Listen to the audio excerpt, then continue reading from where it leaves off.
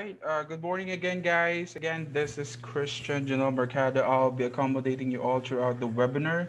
While we are waiting for the others to enter our um, Zoom meeting, I will call on our very beautiful president of the Scopes or the Engineering Council. Are you there, Ms. Rocher and Reyes? Yes, hello. Good morning, everyone. Morning, Pres. Mara- maraming salamat, Tol, sa sa lubong na iyong pagbati. Um, good morning, everyone. Um, sala- maraming salamat po. Ito po ang aming pangalawang webinar. Gusto ko lang din pong i-acknowledge ang ibang professor from other course. Amparo. And syempre po, sa iba pong professor po ng ating engineering, Sir Patio and Sir Alba. Sir Padilla, maraming salamat po from attending our webinar for today. Hello, Sir Mark. Angelo. And syempre po sa ating department head, Sir Kel, and ating Vice President, Sir Camigla. Hello po, good morning. Nais ko lang din pong i-acknowledge ang ibang school po na umatin po sa aming webinar. Salamat po.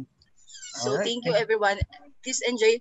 Thank All right. Yes, we will enjoy. We'll truly enjoy this webinar, guys.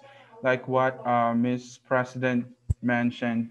So we do store a lot of surprises for you today, guys. So please stay connected with us throughout the whole webinar. Okay.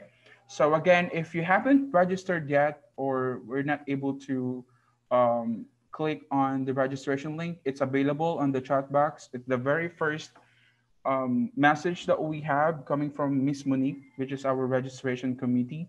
You can actually click on there, so you'll be included in our raffle draw on the latter part of our webinar.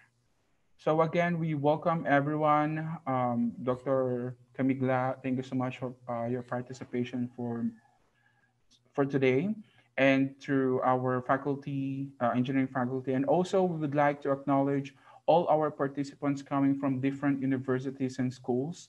Welcome guys, welcome to Trimex Colleges.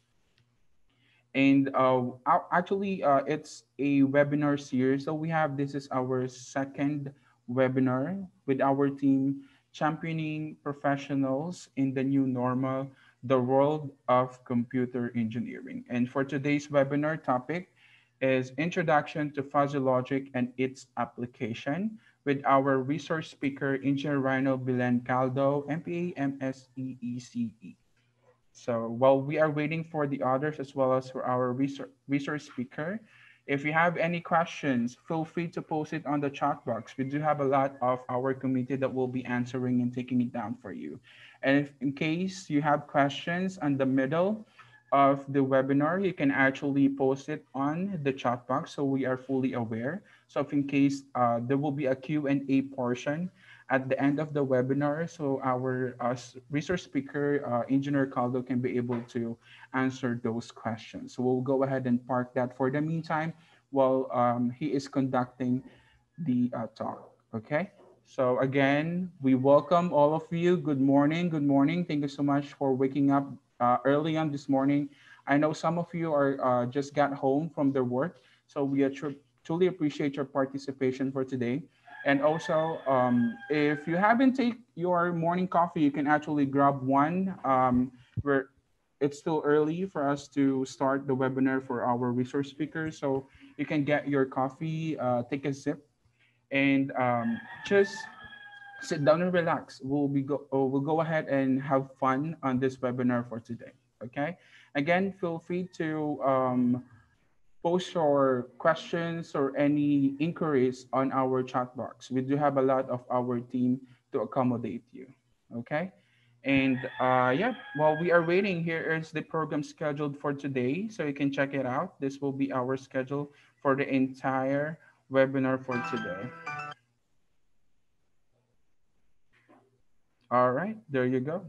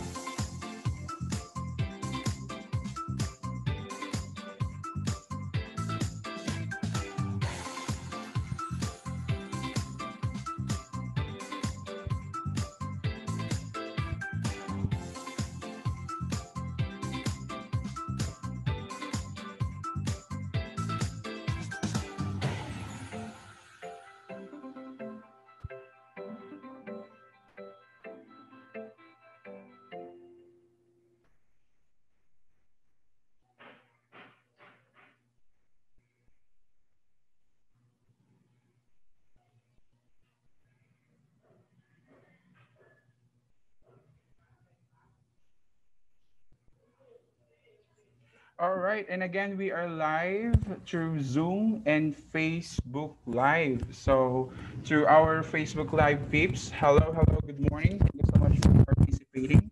And if you wanted to, uh, for uh, you can actually share this link, guys, to some of your friends, your family members, or to your colleagues, uh, to your um, classmates. You can actually forward the link. They are welcome to you um, participate to our today's webinar. Okay, so yep, uh, we will prolong a little bit the agony. Okay, so well, we are waiting for the others because we would like uh, before we start the uh, webinar proper is for everyone to enter the Zoom link so they can be able to um, hear uh, the entire talk for our research speaker, Angel Reyno Belen Caldo with the uh, topic introduction to fuzzy logic and its application. And again, uh, uh, just a reminder uh, for those who haven't registered, you can actually check out the link on the chat box. You can register, so you will be included to our raffle draw. We store a lot of surprises for you today, guys, for the entire webinar. So kindly stay tuned. Okay. So if you have any other questions, again, feel free to enter, chat it on the chat box below so we can accommodate it for you, okay? We do have a lot of committee to answer all of your questions, all right? So while we are waiting, again, we welcome especially our um, VP, uh, Dr. Rito Camigla, and to our engineering faculty. Hello, ma'am, sirs. I thank you for participating for our webinar and also uh, to those participants coming from different universities. Thank you so much for attending our webinar and to our um, professionals from the uh, from other companies, um, computer companies that we have today. Hello guys, good morning, ma'am, sirs. Thank you for participating. So again, this is Christian Junel Mercado. I'll be accommodating you all for today. All right. So while we are waiting, uh, just um, Time check already 8:49. Thank you so much. It's early in the morning, guys, right? Some of you I know are not that morning person, so you can grab your coffee, take a sip, sit sit back and relax, okay? So right now we are we have 90 participants here in Zoom and it's counting in Facebook. So we are we are also live at Facebook. You can share the link you can check out the Trimex College College's uh, Facebook page. And also, if you are interested uh, to the courses that we have at Trimex Colleges, you can actually check out on trimexcolleges.edu.ph. Thank you. And right now, while we are waiting for our resource speaker, so again, uh, we do have our house rules so we can conduct the webinar properly. We can understand it more and thoroughly. So kindly watch this, please, and take down some of our, our house rules. So, you know, we can have a seamless and understandable webinar. Check it out, guys.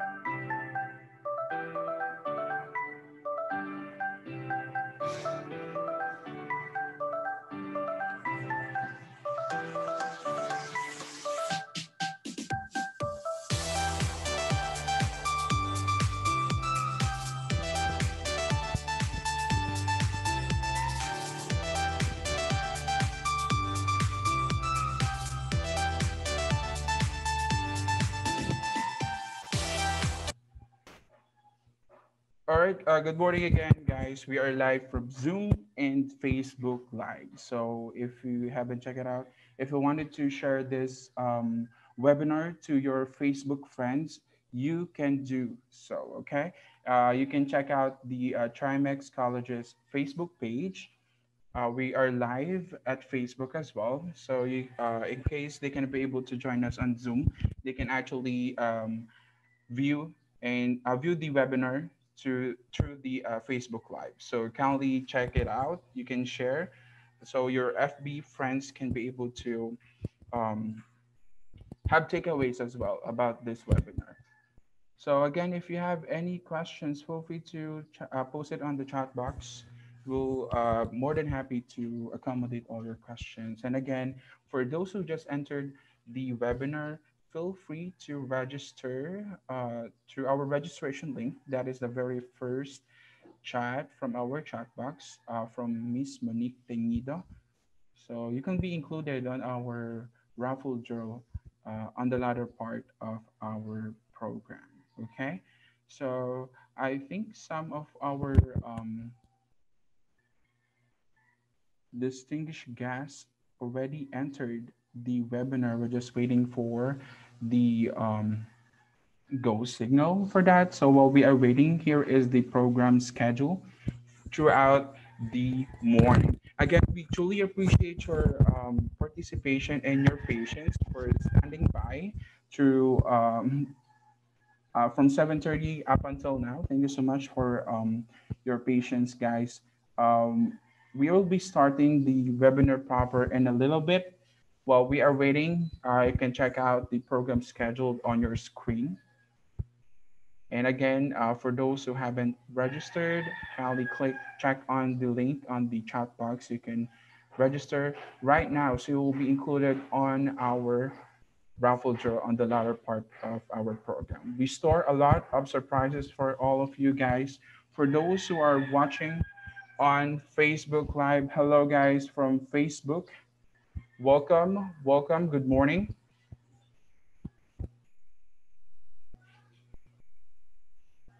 All right, so we have, I do have now the go signal to start the program proper. And without further ado, we'll go ahead and start the uh, program by our opening prayer.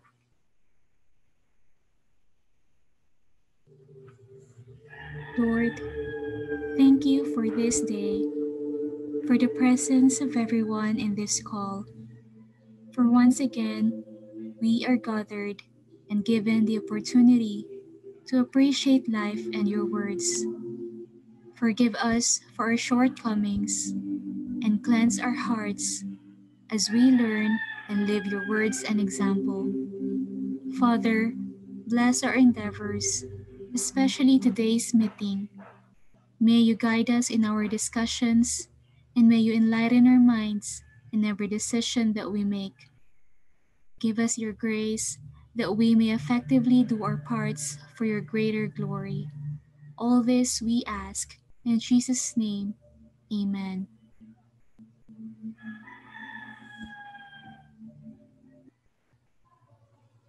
And this is followed by our national anthem.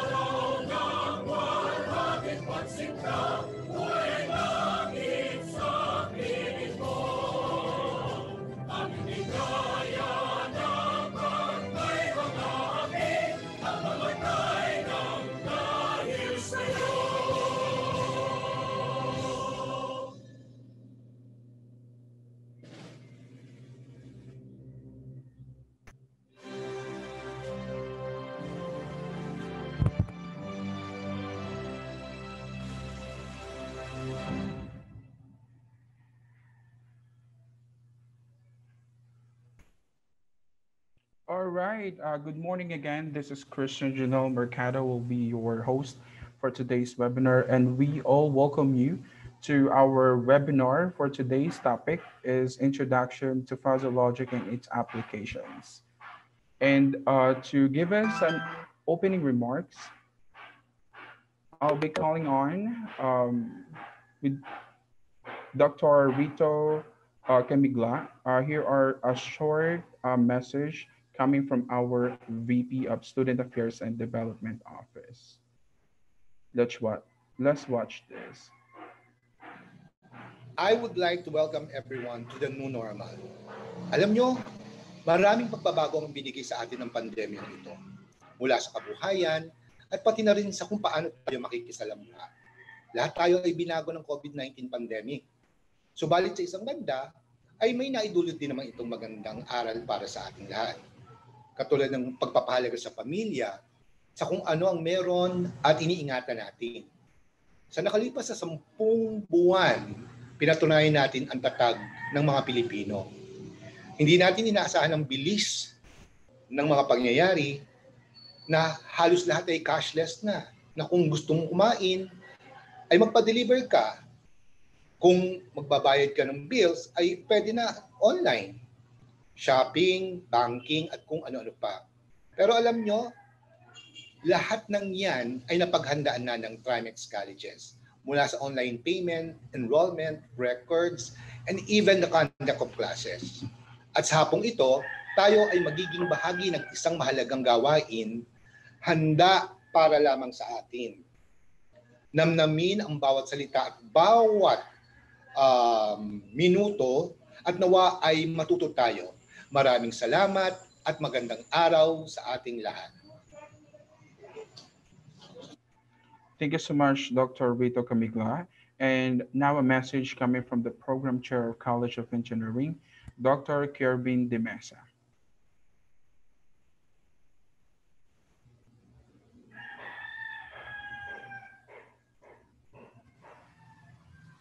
Good morning to every one of you. So welcome to the General Assembly and of course the webinar series for Computer Engineering Department. So I would just like to welcome to all of you here for this activity. So I would just like to thank first to our scope officers, to the Faculty of Engineering, and to other guests, participants, and resource speakers for this particular webinar. A pleasant morning to all of you.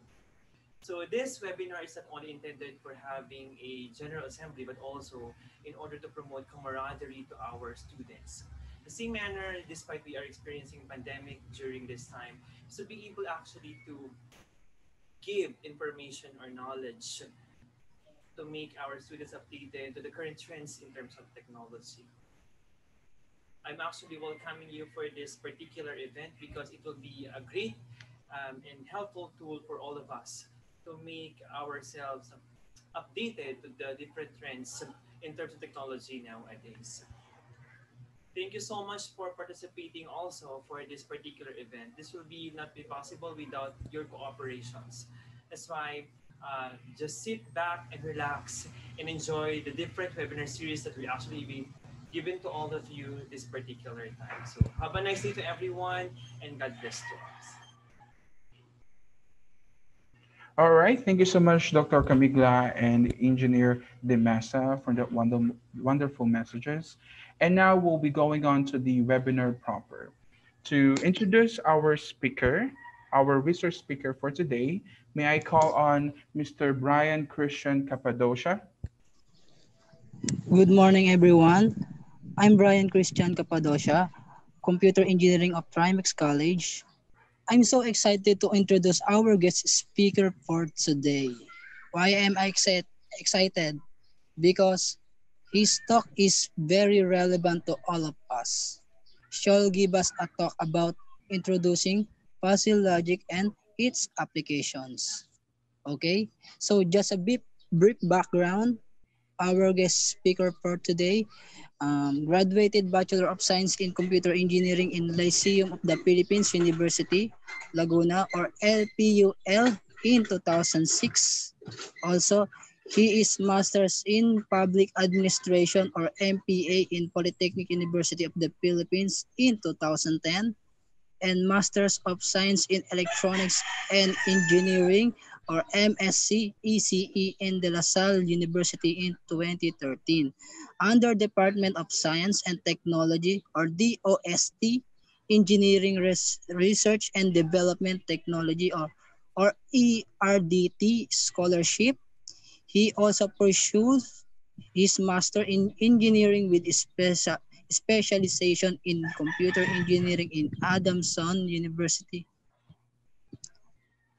University under Commission on Higher Education or CHED.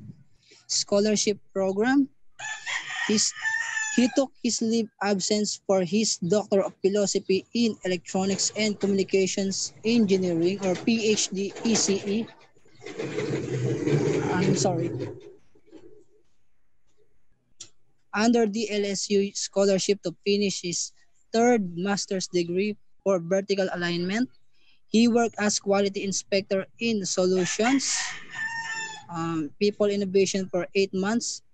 He worked as statical process control or SPC, data management system or DMS, engineer for three years in Evident Philippines Incorp Incorporation, he took full-time faculty position in LPU Laguna. He, he also handled intellectual property coordinator position, research coordinator of COECS department and computer engineering program chair in the same institution. He was a former OIC education coordinator of ACLC College San Pablo for a year. More, more so, he was then he was then an assistant professor professorial lecturer 3 in De La Salle University, assistant professor 3 in Malayan College, Laguna or MCL, also known as Mapua University of College, assistant professor for in University of Perpetual Help DALTA System. College Campus Instructor 1 in Tanauan City College, Ergo. He is the CEO or President or Project Manager of Arcaldo Technical Consultancy Services founded March 19, 2017. He was able to present and publish multiple papers in the local international arena, including Scopus, EI, and ISI publications in respected journals. He published 22 Scopus Index Conference proceeding in IEE, Scopus EI, and ISI journal Springer publications. As of date, he had more than 140 research publications, 57 research presentations, 52 seminars, conferences, conventions, workshops attended, 32 awards on 32 awards and scholarships and 24 resource speaking and chairmanship chairmanship engagements. He was granted funds from the OST and CHED for research presentation, publication, and dissemination. He was a recipient of several research presentation. He was a recipient of several research awards and organization, organizing and chairing research colloquia, colloquia in the institution. He was the General Conference Chair of the National Research Conference on Computer Engineering Applications or RCCEA for 2015 and 2016 and Research Conference on Digi Digital System and its Applications or RCODSA in 2019. He was invited as resource speaker to more than 10 universities and institutions in the country. He took chairmanship of different sessions and peer reviews in international conferences. Also, he is a technical program committee or TPC member and reviewer of the prestigious organization Institute of Electronics and Electrical Engineering or IEEE. He is now holding the position of model-based design engineer in ROHM LSI Design Philippines Incorporated or RLDP since August 7, 2017. And Model and Model Development Group or MDG group leader since July 6, 2018. He is in partnership with multi-axis and handlers and technology Incor incorporation. AII TESDA Philippine and Driving Assessment and Simulation Hub or DASH project team to design, develop and implemented automated driver's assessment and driving simulator system to make the Philippines and, ha- and Philippines a happy and safe place to drive in since sep- September 2017. So without any further ado, let's give our let's give our guest speaker a round of virtual applause. Engineer Ryanel Belencado. Hi sir, good morning. Hello, good morning to everyone. Good morning. I hope Morning. okay, okay. I hope you can hear me clearly. So I'll be sharing my screen for a while.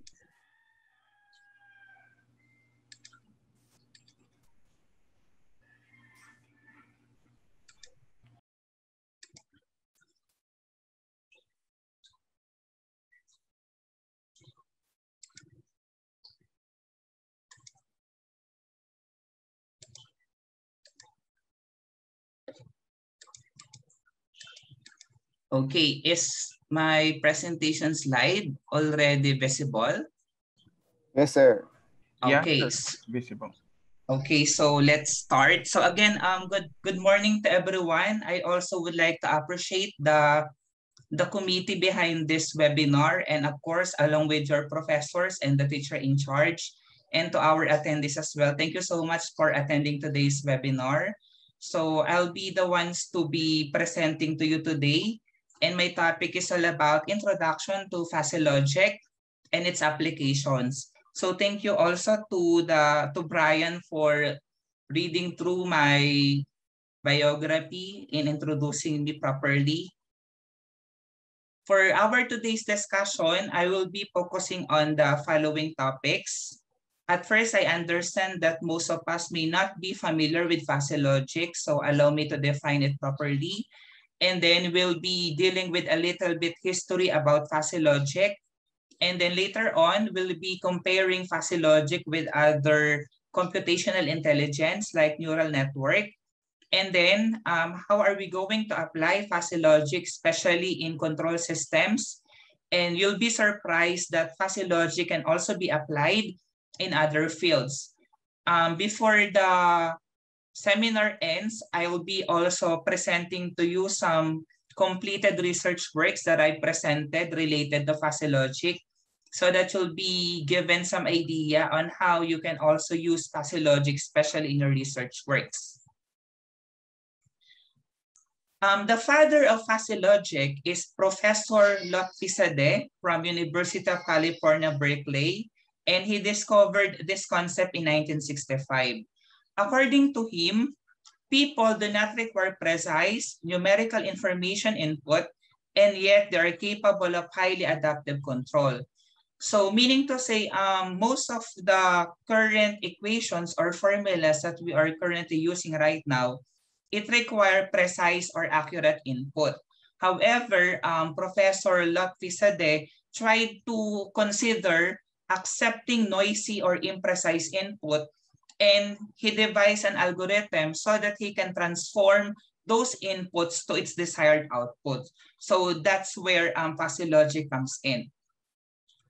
So what is fuzzy logic? So fuzzy from the term itself, it means not clear, distinct, or precise, or blurred. So the definition of fuzzy logic is that it is a form of knowledge representation suitable for notions that cannot be defined precisely, but which depend upon their context. So what does it mean? So most of our attendees today are engineering students. And I understand that engineering students have a lot of high-level mathematics, right? From differential equation to advanced mathematics and so on. But using fuzzy logic, you don't need to use um, high-level formulas in order for you to formulate your mathematical model. You only have to use rule-based systems. And then you can also solve the problem. So is it nice that we can use fuzzy logic for that purpose? I'm sure it is. Another terminology that we can use for fuzzy logic is rule-based systems. So we term this one as rule-based systems because these are systems that make decisions based on rules. So the very idea here in fuzzy logic is you really need to have uh, a tangible rule in order for you to solve the problem. So we use rules that can be stated and we can even term those rules as crisp rules or fuzzy rules. An example would be when we are dealing with inexact concepts like bigger, smaller, and faster. So it is easier to state the rules using this linguistic classification.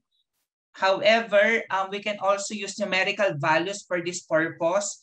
But um, say, for example, a person which is taller is different with an animal which is bigger, but we can use the same linguistic classification, but it only differs in the numerical value. However, the difficult thing about the rule-based system is that optimi optimization can be very difficult. So fine-tuning is very important in fuzzy logic, and most of the researchers are finding hard to optimize or to, to fine-tune their algorithm to use the fuzzy logic. So that is one of the um, difficulty that we can encounter when we use fuzzy logic optimization. Um, Rule-based system, first, we needed to define the rules. So, but I have a note here that it is easier said than done because um, defining rules is not that easy you need some experts, you need some experience from the operator or a person that is expert on that specific area of application in which you can get some idea on how are you going to formulate the rules. Also, you have to consider are the rules consistent?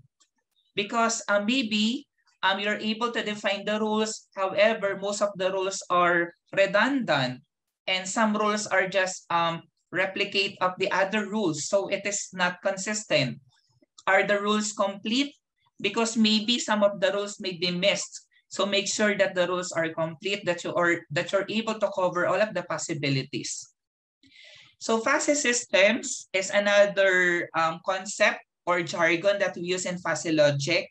Fuzzy systems define the fuzzy membership functions and we have different um, fuzzy membership functions. So I'll be explaining it to you one by one later on so that you'll be clear about the different types of membership functions. Basically, fuzzy logic is a problem-solving control system methodology. So meaning to say, regardless of problem, whether it is in the field of engineering or in the field of business or whatever problem that you have, you can actually control them using fuzzy logic. And we usually use linguistic or fuzzy variables instead of numerical values because um, in the numerical value, what we actually use in fuzzy logic is we normalize the value, but we do represent them as linguistics. Example, this is an, an example of a rule. If the process is too hot and the process is heating properly, then you can cool the process quickly. So does it make sense? Of course, if the process is too hot and you are heating it rapidly, you have to cool it um, quickly so that um, it will be cooler. So that is one um, rule that we need to that we need to consider in fuzzy logic as an example. So what are the different advantages and disadvantages of fuzzy logic? Number one, just like any other computational intelligence, it mimics human control logic. So the way we think, um, the way we analyze, the way we solve a particular problem. So that is actually the same concept in fuzzy logic. And another advantage is it uses imprecise language. So as I have said earlier, so you don't need to have an, a precise input yet or an accurate input yet. You just needed to have a good rules first. And then inherently robust and it fails safely and modified and tweaked easily. So what does it mean? So before you can actually implement in a hardware implementation of your prototype or design, you can actually test first using fuzzy logic. So once you see that the results are not good, you can actually change the rules and you can actually modify and tweak the, the rules that you've set. So you don't need to consider the, the risk, the, the failure in case that your system will fail eventually. Unlike um, prototyping, when you do already the prototype, of course, it requires cost already. And when it fails, then you needed to repeat it all over again. So that is the main idea about fuzzy logic. For the disadvantages, as I have said earlier, um, we needed experience from the operator or expert specifically for that field. And the system might be some complex or it might be a little bit complicated. So you also have to consider the complexity of your system. In order for us to understand fuzzy logic, I prepared here a sample traditional representation of logic. So as we know, the computer only understands binary, zero and then one. It is a machine code or machine language or binary code in other terminologies. And in that sense, we only use zero and then one, okay? So an example here, we have here a snail, which is the speed is slow. The linguistic classification of the snail relative to its speed is slow. However, for the cheetah, the linguistic classification is fast for the numerical value of speed, which is one. So we have two um, example here, snail and then the cheetah. So when we do the coding using C or C++, what we did is we actually define speed as Boolean because it's just a matter of true or false or zero and then one. And then we get the speed from the user. And then we analyze using conditional statement. In this example, if else, if the speed is zero, then it is slow. It is a comment here that it is slow for the linguistic classification. Else, if this particular condition is not satisfied, then it is fast. So that is the traditional representation of logic. Now, I will relate this one. How are we going to implement using fuzzy logic? Using fuzzy logic, so we don't actually use zero and then one, but we actually use values within zero and then one. Okay, so in this example, we can actually represent different animals this time aside from the snail and aside from the cheetah. And we can set numerical values for that specific um, animal. So we have here the snail. So slowest is the linguistic classification of the range from 0 to 0.25 and then followed by the turtle which we classify as low with a range from 0.25 to 0.5. And then we also have here the dog, which is fast, 0.5 to 0.75. And we have here the fastest, which is the cheetah, from 0.75 to 1. As for the category or the sequence of these animals relative to their speed, so the slowest, slow, fast, and fastest, these classifications are correct, right? But if you put cheetah here as slowest, then it is not good enough. So that means that you needed to have some expert in order for you to help out. How are you to set the rules and how are you to classify the specific um, variable or in this case animal that you will be using in your fuzzy logic. So for every problem, it must represent terms of fuzzy sets.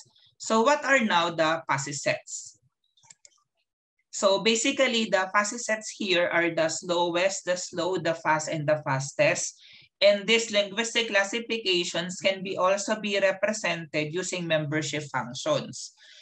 If you will be coding this one using C++ again, so it's very simple you only use um, additional um, and operator here to represent that if the speed is greater than or equal to zero and the speed is less than 0.25, then the speed is lowest. So you're referring here to the snail.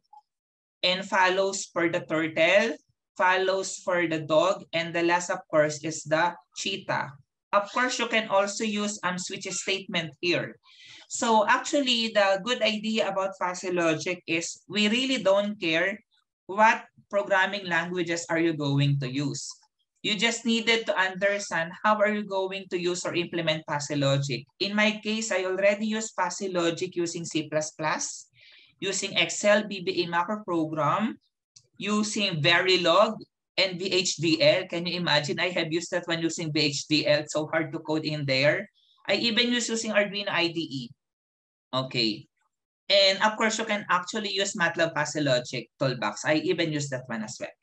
So regardless of the programming languages, as long as you understand what fuzzy logic is, you can actually embed that or include that in your research work. So basically, these are just the origins of the fuzzy logic. It traces back to ancient Greece and as I have said, the first to publish the ideas of fuzzy logic is Lotfi Asder Zadeh in 1965. So if you would like to study further about fuzzy logic, so I suggest you can read through the publications and articles written by Zadeh. And some of the fuzzy inference systems are actually named to Zadeh. So it's actually Mamdani and Zadeh. Those are the names of the membership um, fuzzy inference systems that we can actually use. Another is Professor Toshiro Terano in 1972 in which he organized the world's first working group on fuzzy systems. That's why um, we actually have, um, even right now, a lot of conferences or journal publications specific to fuzzy logic alone. I was even invited to review some of the papers internationally related to logic systems for publication purposes. And I myself contributed to um, some research works related to logic, even published in Scopus and Springer publication. And in the company application, we also have FL Smidth and Corporation in 1980. They are the first one to market fast expert systems. Actually, even in your homes, you have do you do have a lot of um, logic applications. If you have automatic washing machine at home, so it applies the concept of logic without your knowing. So fuzzy sets, items can belong to a fuzzy set to different degrees. And that degree, we term that one as degrees of membership. So completely within a set is a membership degree of one and completely outside the set is a membership degree of zero. Okay, so later on, I'll be trying to show you a short video clip and I hope it can be visible or you can hear clearly the, the video clip that I'll be sharing later on so that you can visually understand what um, sets are. So degrees of membership must sum to one, just like in your statistics, di? So an item can be both A and not A to different degrees. A to a degree of point A and not A to point 2. So the maximum value per probability is 1. So when a degree of A is applicable of point A, of course, its negation A is 2. Degrees of membership are even expressed with membership functions and we do have different types of membership functions. And range of values a variable can take is called the universe of this course. So I will now be explaining to you the different types of membership function.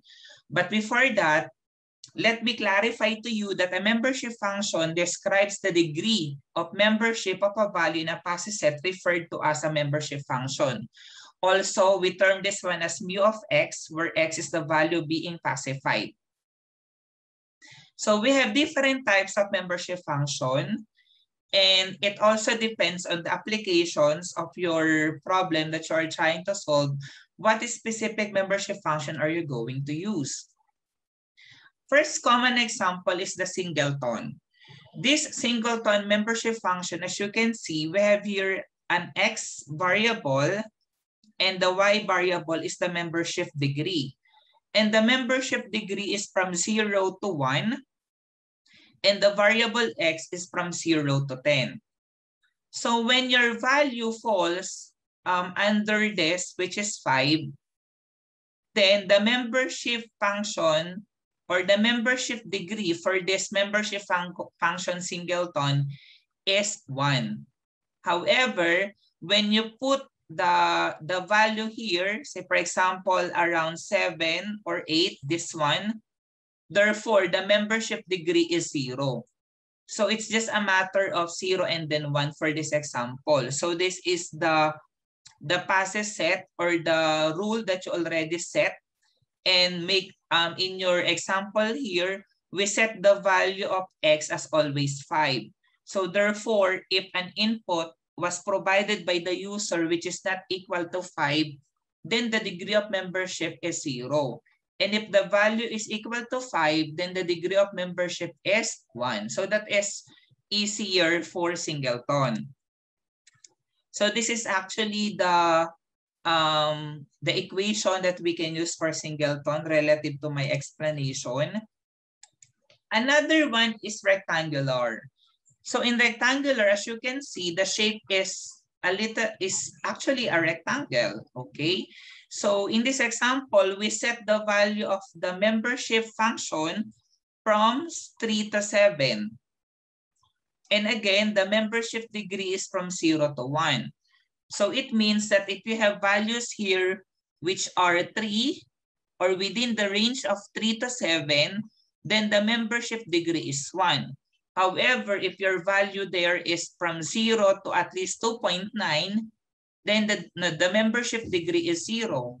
Also for 7.1 to 10, the membership degree is also zero. So what matters here is the set membership function, the values that you considered in setting your membership function. So that will define the membership degree. And this is again the equation that we can use for rectangular membership function. Another common application that we can use is the triangular membership function. I actually use triangular membership function and also trapezoidal membership function that's actually within the family of triangular membership function. So we have three in the family. We have the left shouldered, we have here the triangular, and the right shouldered. So the left and the right shouldered are actually similar to a trapezoid. So in here, we, we actually have three membership functions. So this is the first membership function, the second, and the third. So it's up to you. You can actually have five membership functions, seven, or whatsoever. So how are we going to determine here the membership degree? If we put here the value, say for example, which is um, 0.5, so it's somewhere here. Therefore, the membership degree is 1. But if we put the value of x, which is equal, say, for example, to 7.5, so the membership degree is about at least um, 0.55 or 0.5 0.55, okay? And then relative to y-axis, and then relative to x-axis, the value is around 7.2. So that is how are we going to read the membership degree depending on the type of the membership function that you will be using. So we have here actually the, the triangular membership function equation. Another common um, example of membership function is the Gaussian.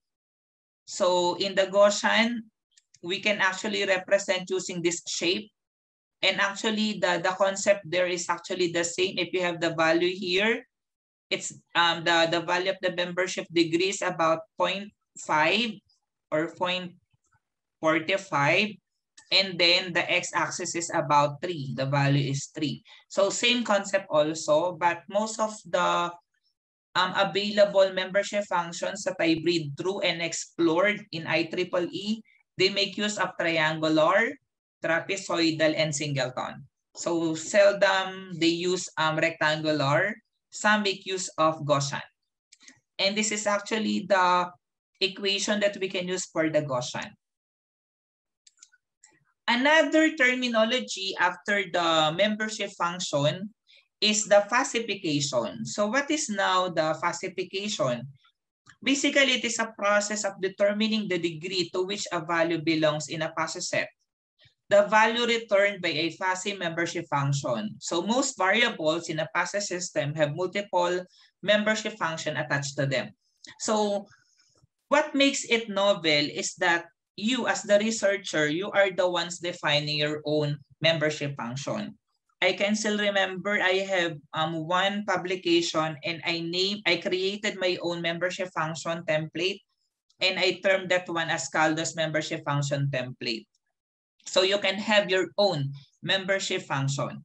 So fuzzifying the variable involves passing the crisp value through each membership function attached to that value. So similar to what we have in your um, subjects like logic circuits or discrete math, so fuzzy logic also applies um, and, or, and then not applications. So and is true if both parameters are true or true if either parameter is true, not reverses the truth of argument. So I believe this is very common to everyone. And we as especially computer engineers, we actually make use of this one from time to time. So for the AND function, for the fuzzy logic, so we have here the truth table. So we have here two input variables, A and then B. And then, of course, we use the AND operator A and B. So the value for A and B here is you can get a value of 1 when you have two values of 1 for A and B. However, for fuzzy logic, we use the, the minimum of the two arguments as the term. But actually, the operation of the AND in fuzzy logic is the same with the AND operator in your logic circuits or discrete math. So what does it mean? So you get the minimum between A and then B. So what is the minimum between A and B? So it's still zero. Minimum of zero and then one is still zero. Minimum of one and then zero is zero. Minimum of one and one is one. Okay. So we make use of the, the term minimum in fuzzy logic. Not the multiplication application or operation. For the OR function, so similar again to our logic circuits, so we use A or B, and usually we only get a zero value output once we have two input um, variables which are both zero. But in fuzzy logic, we use the term max. Okay, so what is the maximum value between A and then B? So it's still 0, 0 and 1, 1, 1, 0, 1, 1, 1 is 1. Okay, so this, this should be A and B. It's not C, okay. So again, the application for our function is maximum. For the AND operator, it is minimum. So we use those um, rules in fuzzy logic.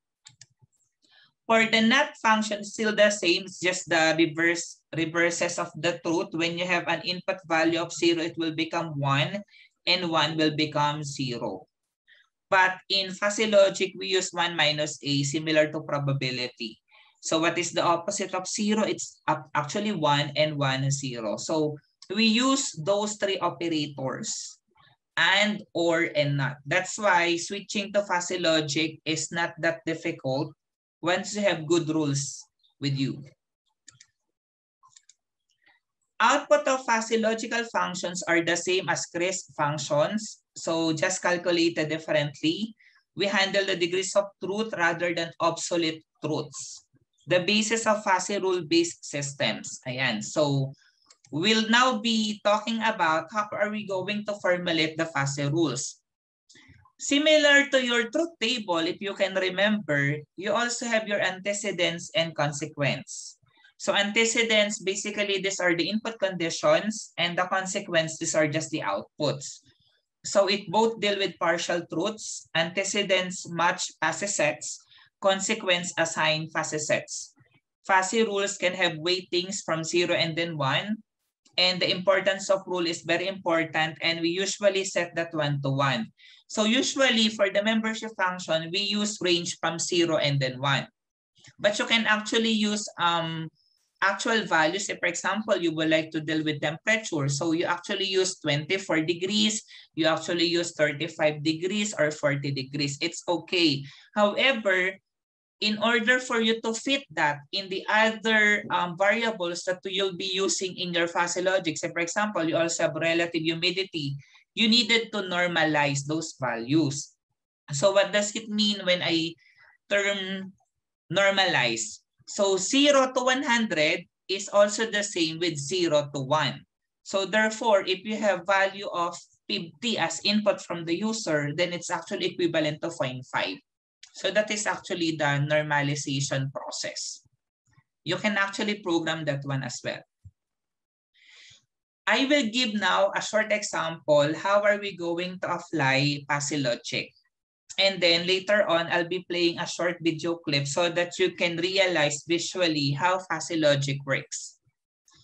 So this example is related to restaurant tipping example.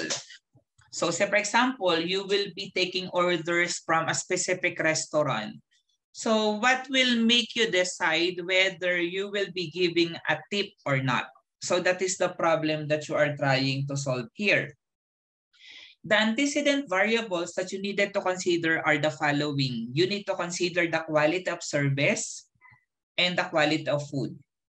So basically, these are the two main items that you need to consider when you would like to give tips. So if the service is good and the food is good, maybe you can give a better tip compared if the service is poor and the quality of the food is very poor as well. So of course, you will not also give a tip. And the consequent variables, of course, is the tip because that is the, the output that we are trying to achieve. Now, I have here the fuzzy rules that I have set. Um, I linguistically classify the service.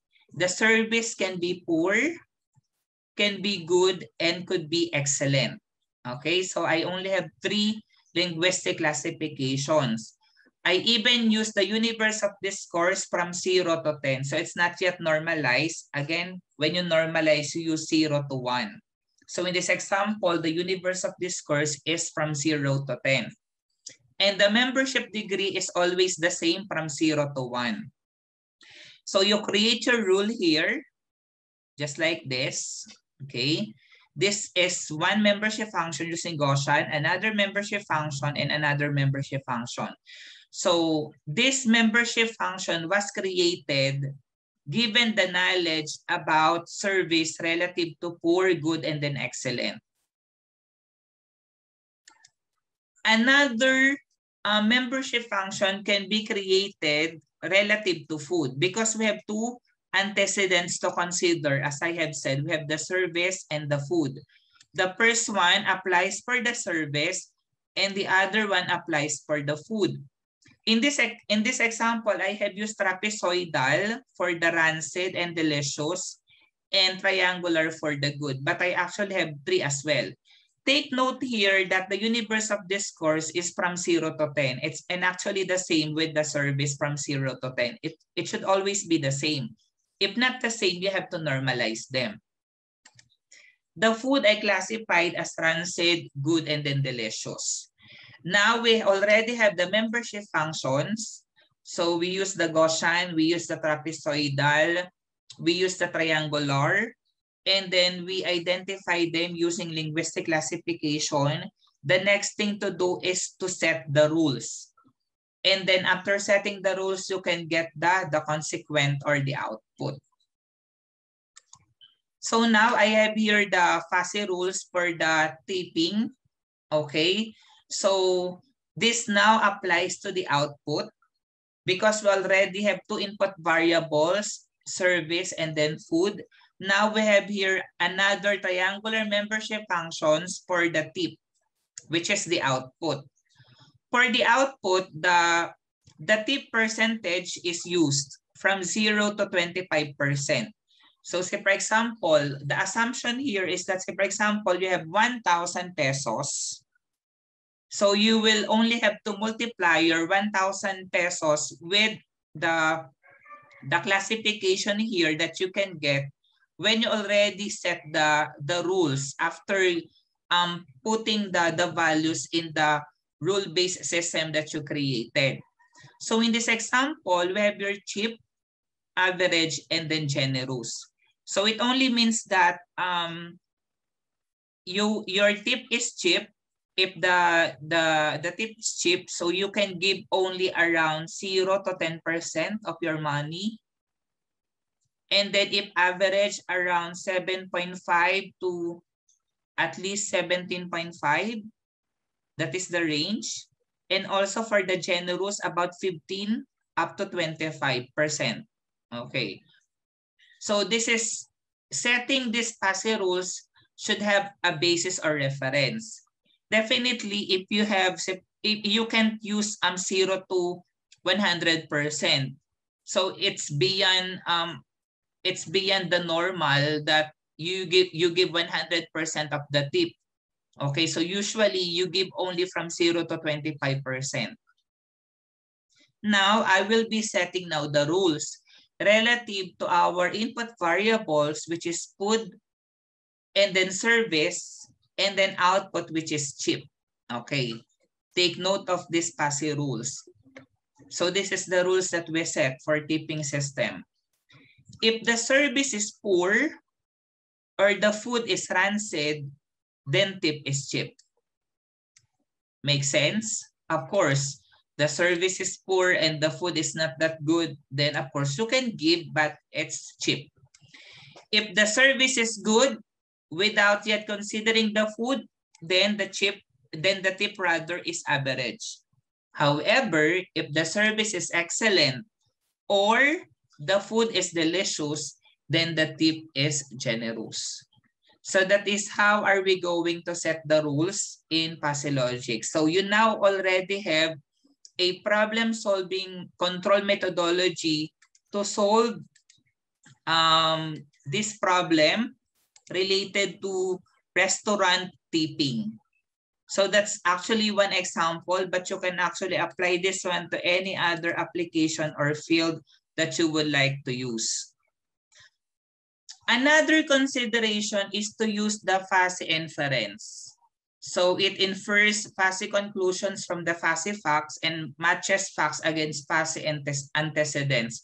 So we actually have a formula for the fuzzy logic, for the fuzzy inference. And as I have said, um, you actually don't need to memorize the formula for the fuzzy inference, the center of gravity, because in the MATLAB fuzzy logic toolbox, you can actually use um, two different fuzzy inference system and the name of the FIS systems are Sade Mamdani and Takagi Sugeno. Sometimes we call that one as Mamdani style and then Sugeno style. The only difference is that in Mamdani, you actually use different types of membership function, but in Sugeno, for the output, you only use singleton. So that's actually the main difference between the two, but they actually use um, center of gravity formula to compute for the results or the output. If you will derive the membership function yourself, you can actually do that. I even do that as well. but it will require you um, coding the fuzzy logic from, from the scratch, just like what I did for Verilog, the HDL, C++, Excel macro program, and even Arduino IDE. In some cases for Arduino IDE, you can use library of fuzzy logic. But if you will be using fuzzy logic toolbox in MATLAB, so it's very easy.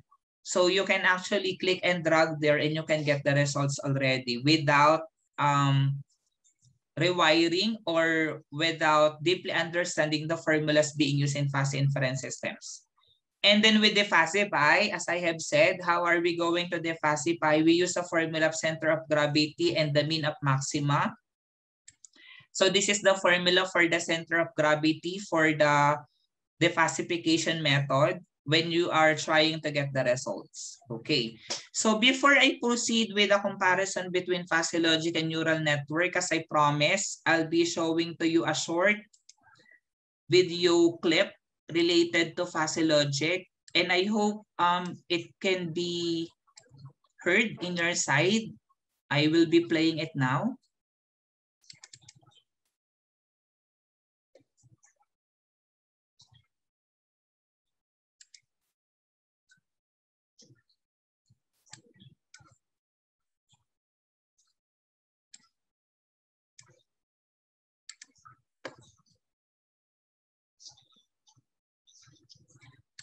Sorry, um, can, can you hear the video? Can somebody um voice out? Not yet, sir.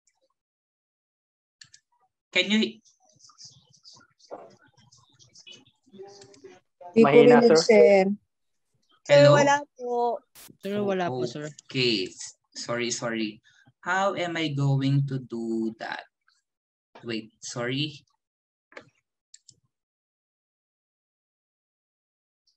Share a sound.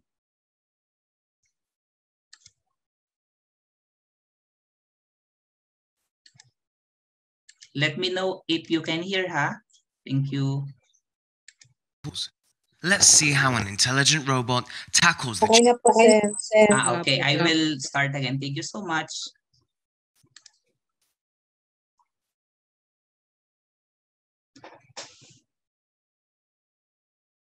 Welcome. In this video, we talk about fuzzy logic, a tool engineers and scientists use nakashare yung to intelligence into robots. Ay, sorry, sorry. Hindi naman nakashare yung video. Nakashare yung sound, pero, Naka-PowerPoint pa rin po. ah, okay. Teka. Thank you for commenting on that, ha? Wait lang. Paano ba yon? Stop recording.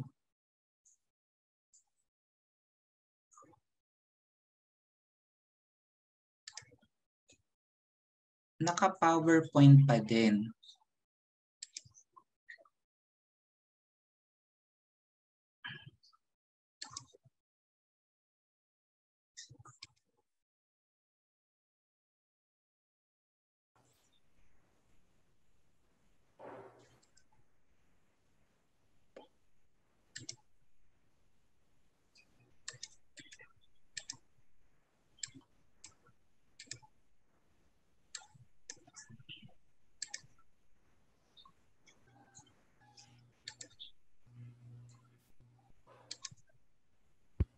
Uh, hello, s- uh, Sir Caldo.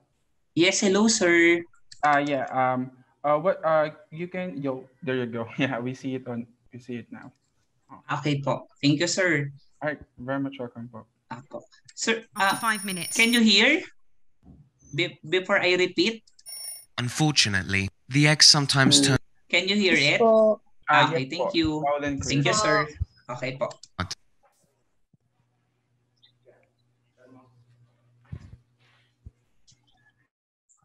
Welcome.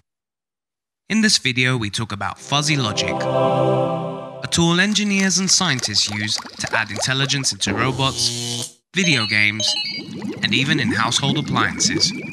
Fuzzy logic is fantastic as it solves complex problems by using simple rules. Let's see how an intelligent robot tackles the challenging task of boiling an egg using fuzzy logic. Sir, hindi po po naka-share. Boiled eggs In, ha? Sorry. Hindi po Ay. na-play yung video, sir. Sir, hindi po nakashare ang screen. Sound lang. Oh, sorry. Parang parang kanina nag-okay na, hindi pala. Sorry po. Okay, I'll be sorry. Where is it? Stop share. Ulitin ko na lang.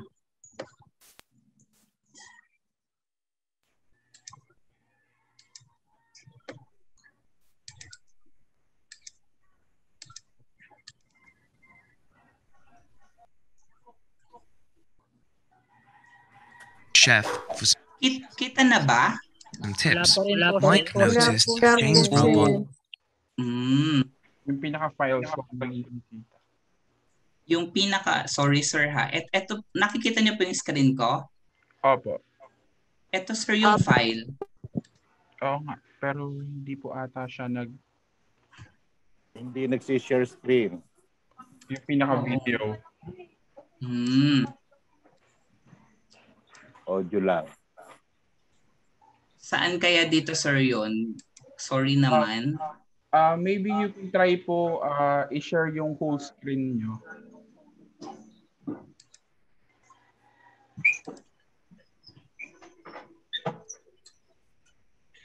Then max out nyo na lang po yung pinaka-video.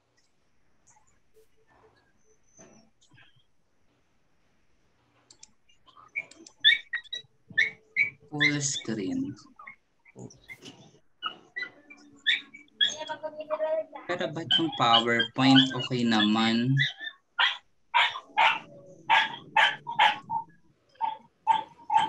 Pag yung PowerPoint visible naman po ano, Ah, yes. Yes po. Yes. pero nag, nung nag-switch na ako, ayan, yung mga nagalaw-galaw ako right now, eto, hindi, hindi pa rin kita. Hindi po, PowerPoint Hindi pa rin pa. po. Okay. Sige po, um, anyway, um, i-try ko na lang ding isend muna kay Brian and then i-continue ko muna yung discussion and then if mapi-play later on ni Brian, I would appreciate it. Okay lang ba? Ah, okay po. Okay. Sige.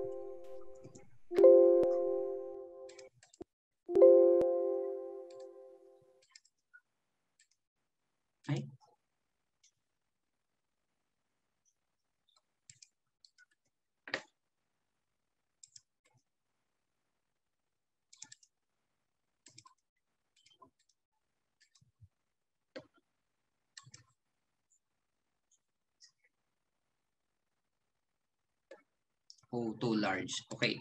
Anyway, sige po. Pasensya na po kung hindi natin mapiplay yung video right now. But anyway, I'll be continuing na lang the discussion. Um, yung content lang naman po ng video for your information everyone, um, basically is um, related po siya sa egg robot making using fuzzy logic. So in that example, um, we have there the, the chef or the the chef as the expert and then somebody asked that expert on what particular formula she will use in order to formulate an egg boiling robot. So that's one example. And another video that I have is about the basketball. When you decide whether a person is good enough to play basketball or not, or whether a person should consider boxing instead because of the tall issues. Okay. So let's now proceed to the fuzzy logic versus neural network. So as I have said earlier, so another type of computational intelligence is the neural network. We actually have different types. Um, another discussion could be related to artificial intelligence. Another might be related to genetic algorithm. But I would only try to explain here the difference between fuzzy logic and neural network. I actually even try to implement um, different research works using fuzzy logic and neural network and try to compare them. And I give and I get same results actually. So how does a neural network work? So the, the common thing about fuzzy logic and neural networks, they are both uh, modeling using the human brain. So you, are, you actually needed to have some decisions through our minds and then it both used to create behavioral systems.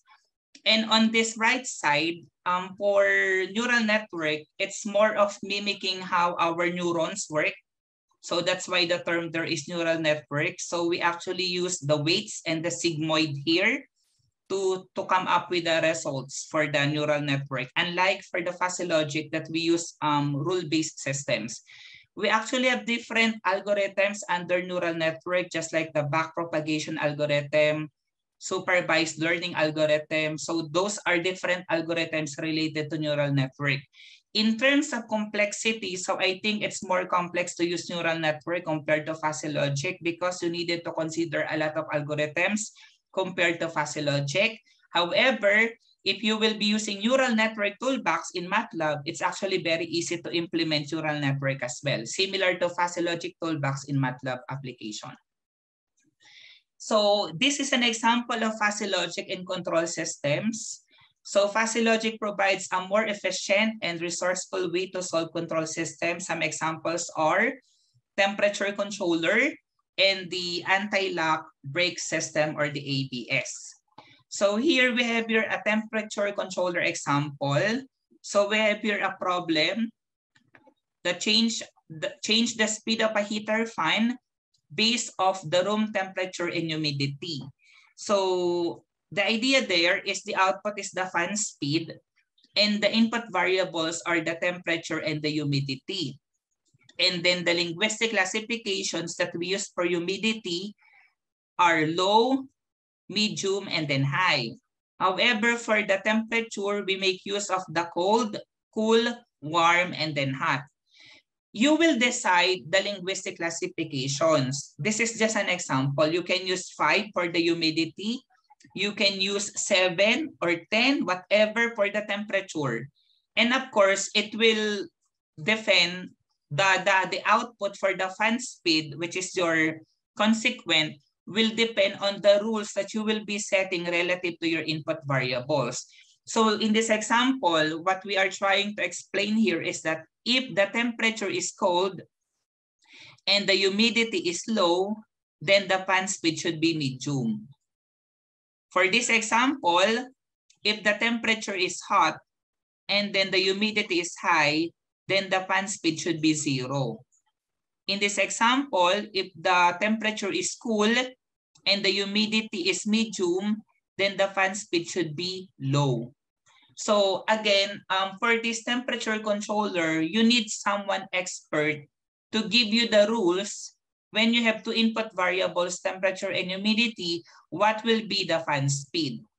So I believe that most of your research works applies control systems methodology so you can actually apply this fuzzy associative memory matrix table for your implementation if you will be using fuzzy logic. What is now the, or what are now the benefits of using fuzzy logic? So as you can see here, the, the workflow is much more simpler and simplified or optimized when we use fuzzy logic. This is the traditional approach that we are using. And I believe that most of us, especially our teachers and me in my thesis works as well before, when I graduate, before I graduate CPE, I follow these steps. So you understand the physical system and control requirements. So you will actually do that as well, even in fuzzy logic. So there's no problem with that. Sometime you will develop a linear model of plants, sensors, and actuators, if, especially if you will be controlling something and you also you actually have some feedback system. And you will be also determining a simplified controller for control theory. If you can still remember your control systems, you have proportional integral, proportional derivative, proportional integral derivative, or the PID controller. And then you will develop an algorithm for the controller or a mathematical model and then you simulate, debug, and implement and design. So that is the traditional approach that we are actually following. But using fuzzy logic, you don't need to do higher uh, mathematics or mathematical modeling. So you do the design using um, fuzzy rules. And then you simulate, debug, and implement the design. That's it. And you can get um, almost same results. Not that accurate as this one, but you can actually control um, relative to your uh, expected output. So this is an example of the anti-lock brake system or the ABS. So you can actually implement um, fuzzy logic for this application because this is nonlinear and dynamic in nature.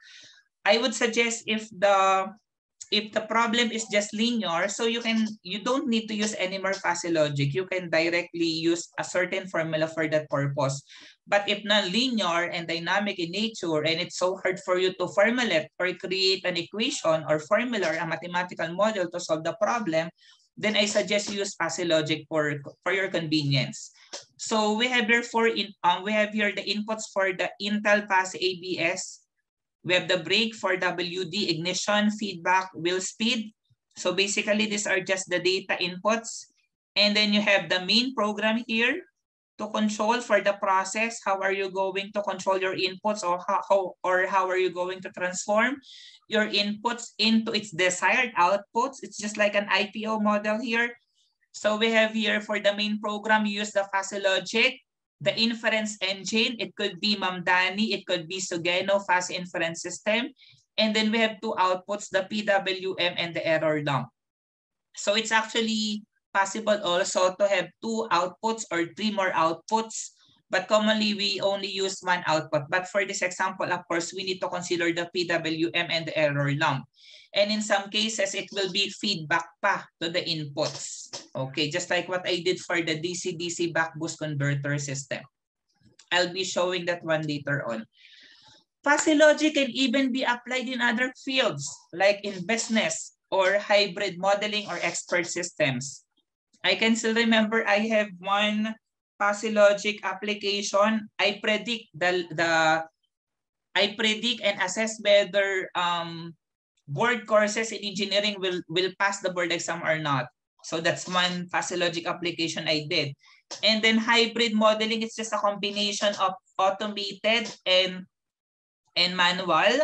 So a hybrid modeling example is implementation, say for example, in Arduino microcontroller. So you use Arduino for the hardware part, but in inside the Arduino, when you do your control, you don't use the PID anymore. You use fuzzy logic for the implementation purpose. So we call that one as hybrid. And expert systems for computational intelligence purposes as well. So as a conclusion, fuzzy logic provides an alternative way to represent linguistic and subjective attributes of the real world in computing It is able to be applied to control systems and other applications in order to improve the efficiency and simplicity of the design process. I would like to give you some idea here, some approach, whether you are going to use fuzzy logic or not. Because uh, maybe um, this fuzzy logic may not be applicable in your current work or current research work or the, the research work that you would like to, to do in the long run. So that's why you needed to understand how are you going to approach um, fuzzy logic. So this is just an assessment as to whether fuzzy logic is applicable for the given application. Evaluation criteria. Has fuzzy logic been previously applied to a similar application with success? Even in your defense, your panel members will always ask you, do you have relevant studies that will support your research work even your professors will ask that because that is very important. Because you if you are trying to solve some something that is not yet um, known to anybody then it will be a suicide in your part. So of course you have some similar application with a relevant success. What is good example of this? One good example is when i do a research in taal lake i assess the quality of the water there using fuzzy logic. So I don't have any reference in the Philippines doing that, but I found a, one reference. I saw that in IEEE paper and it is applic applicable to a river. So they apply that one to assess the quality of the river, the, the water quality of the river. So I use that as reference to do the fuzzy logic. So you have some reference for this purpose for it to be successful as well. Is it a multivariable type control problem? As I have said, kung ito po ay nonlinear, so you can use um, fuzzy logic. But if you only have two input variables and then ano pa siya linear, so you don't need to use fuzzy logic anymore. It should be multi-variable type. Do operators and engineers possess knowledge about any relevant interdependencies of the process variables? Oh, going back to my example, when I study about the quality of the water in Taal Lake, I'm not as I uh, I'm not an expert in terms of um, water quality assessment, right? So what I did there is I go to BFAR in the fishery school there and then I interviewed someone and then I get idea from them how am I going to create the rules for my fuzzy logic. Can further knowledge about the process behavior be gained by observation or experiments? I even did this one. I get the the measures, the current measures that I have right now relative to dissolved oxygen, relative to ammonia, relative to pH, and so on, turbidity. So I gather all of the experiments they, that they did, and then I use that as an input to my fuzzy systems when I try to do the testings and fine-tuning of my fuzzy logic system. Is it difficult to obtain a mathematical model from the process? So in my example, yes, definitely. There's no direct formula to assess the quality of the water. You needed to, to do some mathematical model for that purpose. And fuzzy logic is an easier tool compared to using high-level mathematics for that computation. Okay. So usage. So next is you will define the control objectives and criteria. So you need to understand what am I trying to control?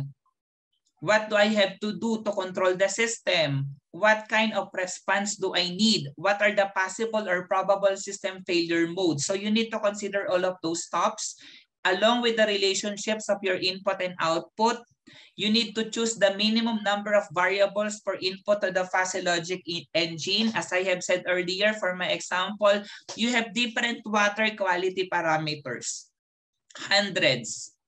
But you only have to select what are the most critical water quality parameters that you can consider in your monitoring. So especially also applicable in your research work, so you can actually choose the minimum number of variables. Then you use the rule-based structure of the fuzzy logic. As I have said, we have the fuzzy associative memory matrix or the FAM table. You need to break the control problem down into a series of rules. And then from there, you can now create the membership function. You can use triangular, um, trapezoidal, Gaussian, define the meaning or the values of the input and output terms used in the rules.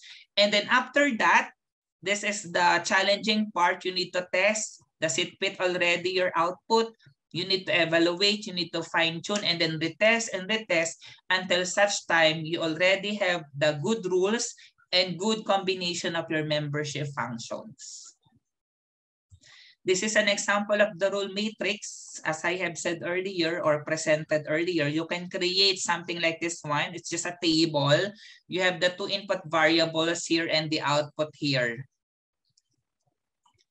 So fuzzy logic deals with uncertainty. If you're uncertain, how are you going to solve the problem? Then fuzzy logic is best for that. It allows degrees of truth, allows partial membership in sets, uh, fuzzy membership functions that describe degrees of membership in fuzzy sets, and many different types of membership function exist. So it's up to you what specific membership function are you going to use. So again, pacification is just determining the degree of membership. When we determine to what specific degree this particular um, passive value belongs, so that is pacification. And passive logic extends Boolean operators to handle partial truths. Remember, we have the AND operator, the OR operator, and the NOT operator. Fuzzy rules match fuzzy antecedents to fuzzy consequence. So that's why we have the fuzzy associative memory matrix or the truth table for that purpose and the rule-based system. Degree to which antecedents are true determine the degree of support. And fuzzy logic functions are used to determine this one. Fuzzy inference involves calculating an output fuzzy set. So again, we have two different fuzzy inference systems Ma'am Dani, and then Sugeno style. So again, Ma'am Dani makes use of different triangular membership functions for the output. However, for the Sugeno, we only use singleton for the output. So these are the two common composition methods, but the most commonly used method to compute for the crisp output value is the center of gravity formula or the COG. This one, the center of gravity or the COG. Okay, so I think I'm done with the first part, but I would like also to share with you some research endeavors that I did. It will not take any longer anymore so that I can entertain questions if you have any. So I'll be sharing you some of the Logic um, publications and presentations that I did, some research works that I already did so you can get some idea how did I use or implement this one. Then after this one, I'll be showing to you some diagrams that I've used in my presentations abroad. So this is actually my very first um, research work related to fuzzy logic. This is very close to my heart. So this is one of my coursework when I when I'm still studying in De La Salle for my master's in ECE. So I, I presented this one in an international conference, TENCON 2012, held in the Philippines. Fortunately, in Cebu, Philippines, it's easy to get there. So it's sponsored by DOST and ERDT scholarship as well. It was entitled Fuzzy Logic Control of Water Quality Monitoring and Surveillance for Aquatic Life Preservation in Taal Lake. So just to give you some glimpse or idea about this topic, so as I have said earlier, I go to the BFAR. I interviewed some experts there, some scientists, and then I get the determine the rules for the identified um, critical water parameters. And then I was able to get or assess the quality of the water using the fuzzy logic. So triangular membership function is the is the membership function that I have used. I even derive the membership function. So I call that one as Caldo's membership function template. Another one presented in the 8th ERDT conference at Radisson Blu Hotel is water quality assessment again using backpropagation neural network for aquatic life preservation in Taal Lake. So the idea there is I'm trying to compare my results using fuzzy logic with um, neural network so this time I use backpropagation neural network. So it's a different um, session. It's so wide or so broad to discuss to you about neural network. But I have used here neural network toolbox in MATLAB. And then when I compare the result of the backpropagation neural network and fuzzy logic, both for same application, I get same results.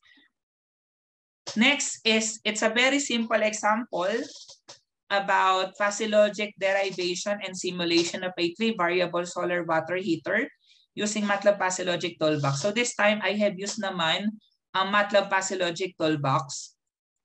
So later on, I will be trying to show you also how how MATLAB fuzzy logic toolbox works, how to create that one. I presented this one in DLSU Manila, so six international conference on humanoid nanotechnology, information technology, Communication and Control Environment Management 2013 or HNICEM. It's an IEEE paper. It's an international conference as well presented in De La Salle. Okay, another one. This is actually one of the work of my advisee. So this is an application in the medical field. Type 1 pathology classification of pain severity or pain assessment. So the idea there is you assess how painful it is how severe the pain it is. So use we use AMPASI logic for that purpose, also presented in HNISM 2013 by my student. Of course, I'm with him.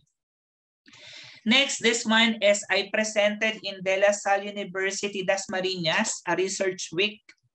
Way back 2013, I assessed the passing of engineering board courses in LPU Laguna using fuzzy logic technology because during that time, um, we have very low passing rate for ECE and EE in LPU Laguna. So we needed to do some assessment. So we use um, logic for that purpose as well.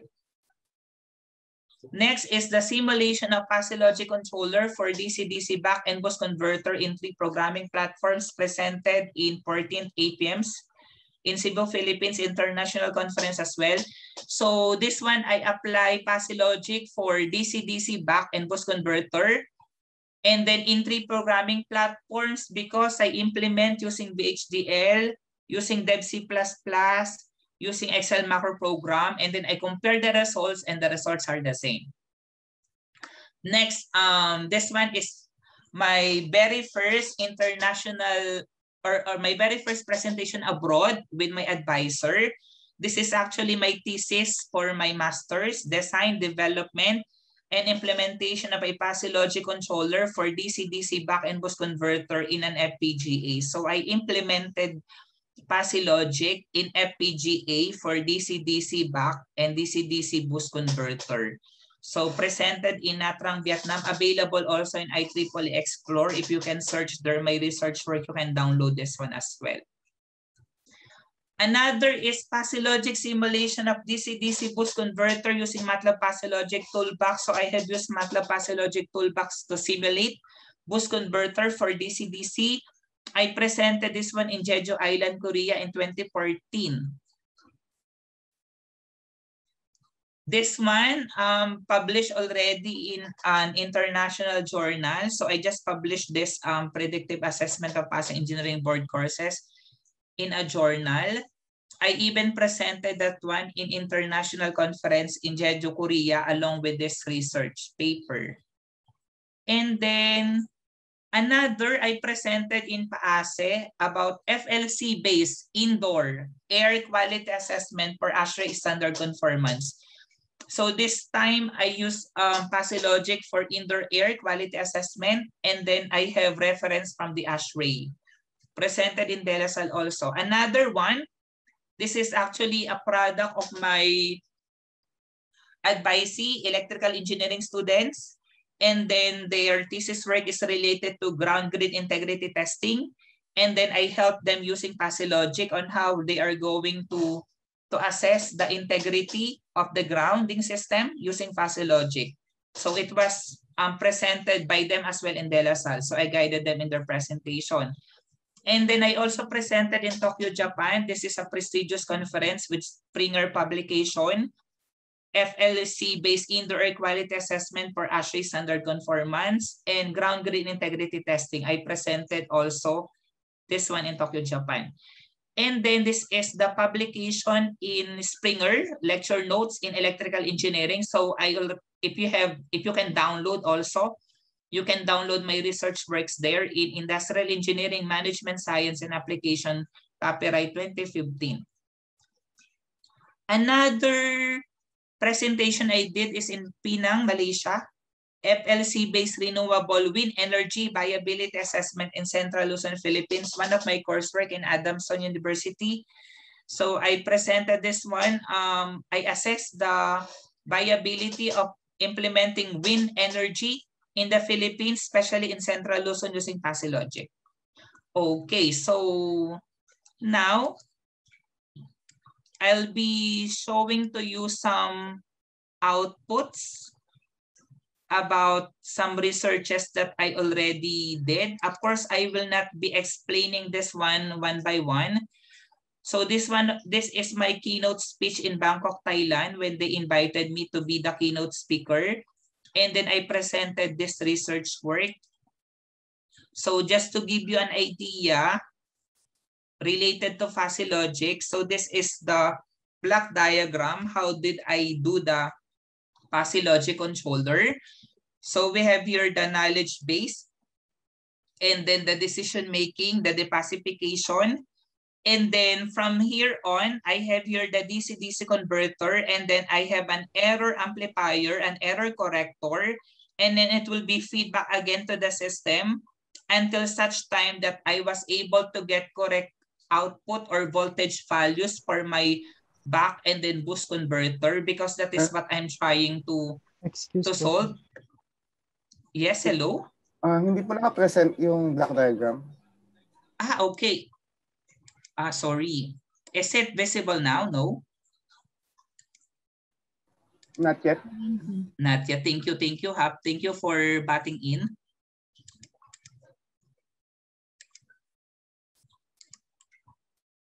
Let me know if it is already visible. Oh. Is the slide related to design and development implementation already visible? Not yet, sir.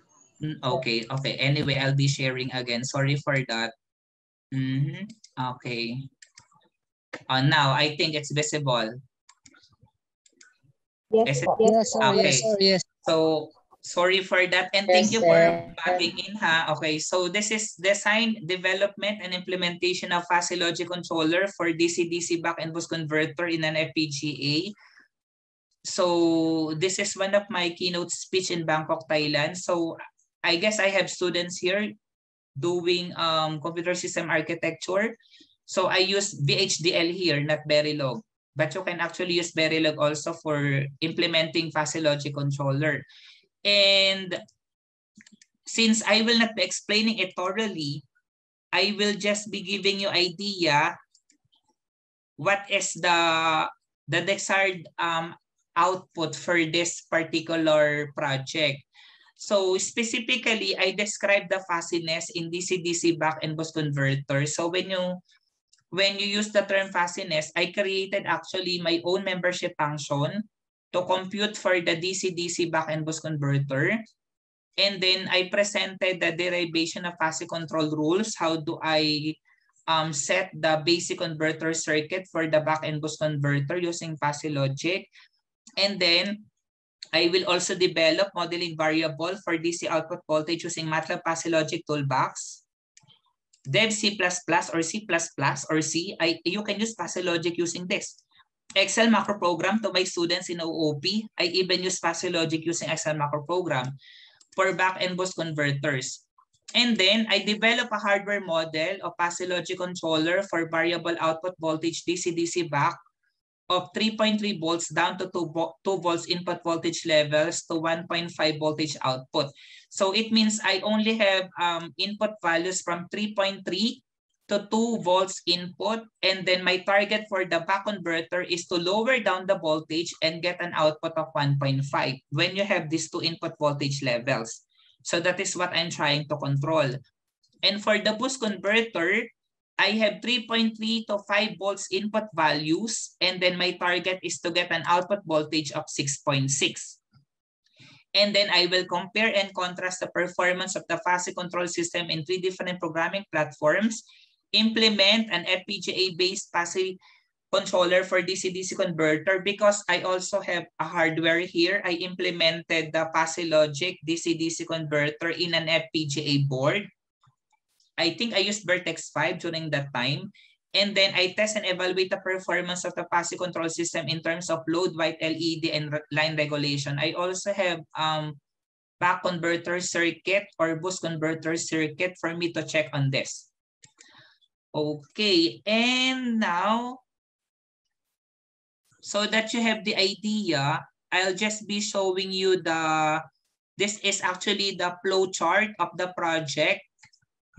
So I actually use Xilinx ISE to simulate in the ModelSim.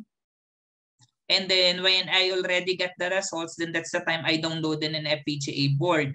And this is the fuzzy logic controller part. How did, how did I implement this? I coded this one in VHDL. And then this is the one that I'm explaining earlier about the block diagram of the fuzzy logic. This is the fuzzy logic controller. In the fuzzy logic controller, of course, it requires inputs from the user. And in this example, what makes it different is that it has already a feedback, an error amplifier, an error corrector, and it will be feedback again to the input. And of course, once you feedback to the input, it has an effect on the output as well. So that is the the very crucial thing about this one because I needed actually to fine tune the voltage output while changing the, the feedback in the input. Okay, and then these are just the input parameters that I have used for the back converter and the boost converter, voltage error and the change of error. I have two input variables, but these are these are feedback. And then the output are negatively big, negatively small, zero area, positively small, and positively big. This is an example implementation that I did using MATLAB Logic Toolbox. In MATLAB Logic Toolbox, you can simply click and drag this one. These are the input variables. And these are the membership function. You can already draw that one. And this is my output. I use Sugeno style. This is just a singleton. So for my duty cycle. And then this is basically a trial test when I do for the back converter. And this one is a trial test when I do for the boost converter. So the output is the duty cycle. And the duty cycle will be feedback again to my input. This one is the fuzzy associative memory matrix that I've created for the boost and buck converter. So this is the rules that I've created for the error and for the change in error, both for the buck and then the boost converter. This is the implementation that I did, the simulation result using C++. Okay, so this is for the boost converter and this is for the back converter. So you can see here the number of iteration. I can already get an output of 6.64 only for iterations. Can you imagine how fast it is using fuzzy logic? For the, this one is for the back converter. I only need seven iteration to get desired output of 1.51. Okay, so this is the assessment, the checking of the results for the DevC++. Just the result. This one is the, for the Excel macro program. I created an Excel macro program, uh, another tool, this one.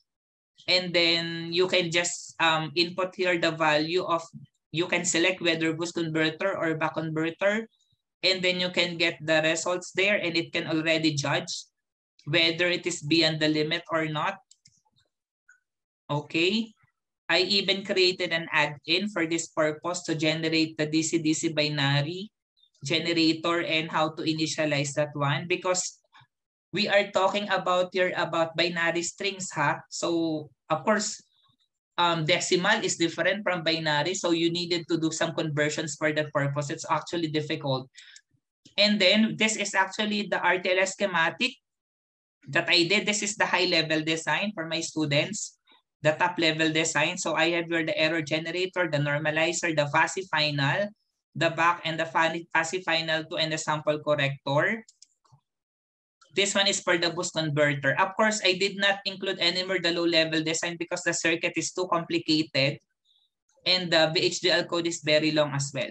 And this is the sample um, setup when I implement in the FPGA board Eh, of course, I saw the results using the oscilloscope and some back-end boost converter circuit here. And then I experiments and analyze the results there. And of course, I got favorable results.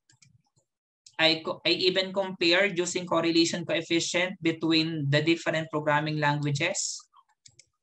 And they are perfectly correlated with each other. And then I concluded already the, the research work. Okay. So another example, maybe this is the last.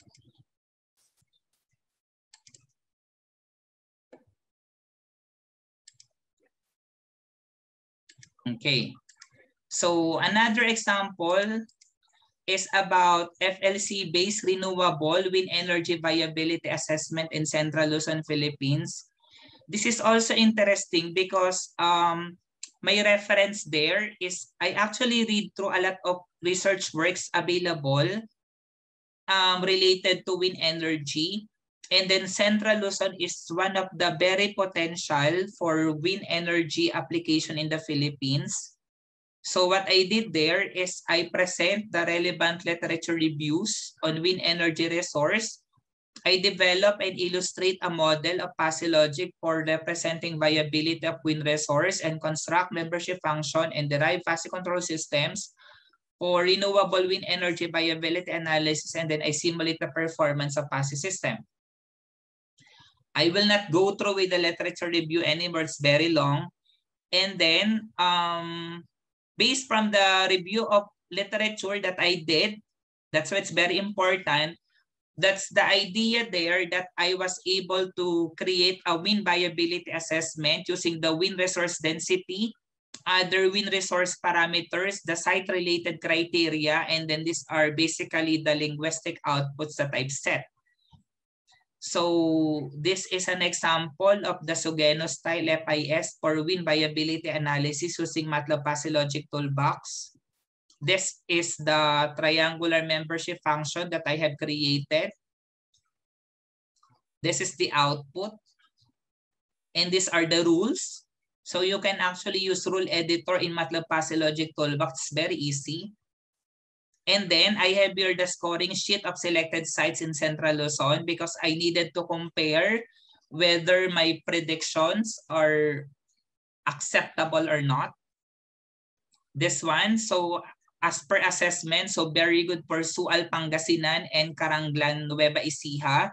However, good only for Sampaloc Rizal, Caliraya Laguna, Pantabangan Nueva Ecija and Puncan Digdig Nueva Ecija. I did not go there anymore. I just get um, relevant literature. And if you will be implementing wind energy, we suggest or I suggest you you use um, or you do implementation in Sual Pangasinan and Carranglan Nueva Ecija because the score in the linguistic classification are very high. And these are just simulation results using the rule viewer in MATLAB Fuzzy Logic Toolbox again. And I just concluded. So I actually have 216 PASE rules in order for me to get the optimum results and fine-tune results for this um, wind viability assessment in Central Luzon, Philippines. Okay. So I think um, that would be all for my side. Thank you again for listening to my talk and sorry for some inconveniences. So if you have some questions, I would like now to give the floor to our moderator or to our advisor so that um, we can facilitate questions from your side. Thank you again and God bless us all. All right. Thank you so much, uh, Engineer Caldo, for that Thank you, wonderful talk. Uh, guys, if you have any questions, feel free to post it on the chat box. Since we do have a couple of minutes left, if you have any questions, feel free to post it on the chat box so um, Engineer Carlo can be able to view it to, for him to answer those questions. Don't be shy, guys. if you have any questions, feel free to post it now since we do have a couple of minutes left.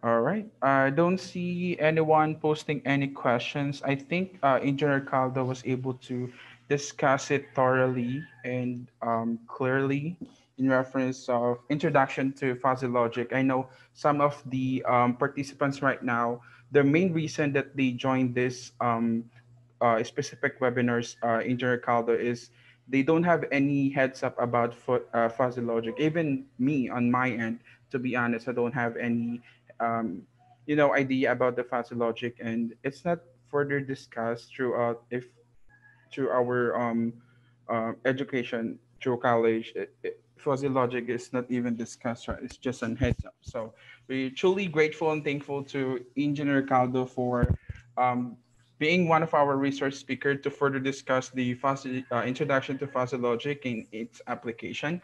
So right now, um, let's go ahead and proceed with the um, awarding of the certificate. Allow me to uh, read the um, certificate.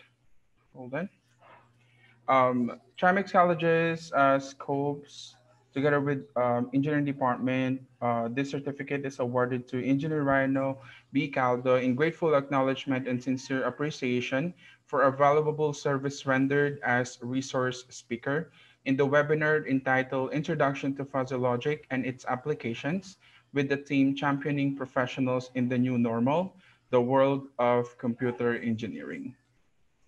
Uh, hereby signed by Dr. Rito A. Camigla Jr., our VP for Academics and Student Services, and our uh, Engineering Department Head, Engineer Kervin R.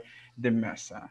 Uh, Engineer Caldo, you will be receiving um, a PDF copy of this. I will be sending out to your email.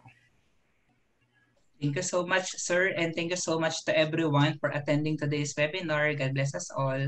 All right. Thank you so much again, Mr. Thank you, sir. Thank you. Engineer Caldo. Um, hopefully, we are Thank able you to po. Thank you, sir. for further um, webinars that we'll happen in the future. So, yep. Um, since we do have some couple of minutes left, guys, uh, here's what we're gonna do in reference of the uh, raffle. Um, actually, um, what we're gonna do is we'll go ahead um, a separate live uh, Facebook live, and we'll be posting it to our um, Scopes um, page, uh, group or GC. Then, if ever um, some of you are not able to uh, view the Facebook live, uh, all the winners will be uh, contacting you directly to the information uh, on the registration. You're able to we're able to get your email and your phone number. We'll be the one to contact you directly. So we will have five winners, and each um, one will be getting 200. It's either through um, Eload or through Gcash. So it's up to you guys to contact me about that.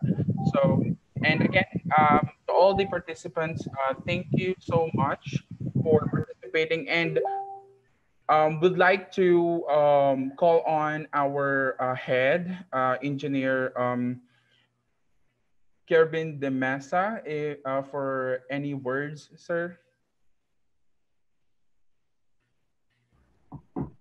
Okay, so good morning. Can you hear me clearly? Yes, Yes, sir. sir. Yes, sir. Good morning, Hi, sir. so first and foremost, allow me engineer um, Rionel Caldo for his valuable insights and giving uh, his valuable time actually for for us to something new.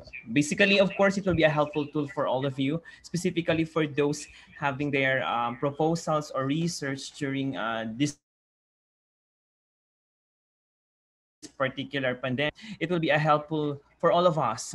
Even though, of course, in professionals, we know the fuzzy logic, but for those students, of course, in some of the curriculum are not part in terms of having the fuzzy logic. But basically, it's one of the most vital um, part and to be created in order for you to propose system that can be beneficial for the society.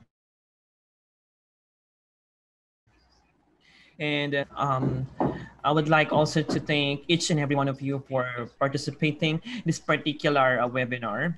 Uh, we learned a lot. And you can, I can also be a successful someday in terms of the, uh, creating different systems that will be beneficial for all the companies or even terms we are actually having with, despite we are experiencing a pandemic. Still, thank you very much to all the officers. Of course, I would like to greet um, to all my students, to all my friends. Actually, we are uh, having an international one. Um, to we also have special guests also from um, Canada, Montreal, Canada. Let's have Engineer Steven Arellana. And also to my friends and colleagues out there in Barcelona, Spain, who are also joining us in FB Live and here also inside the Zoom.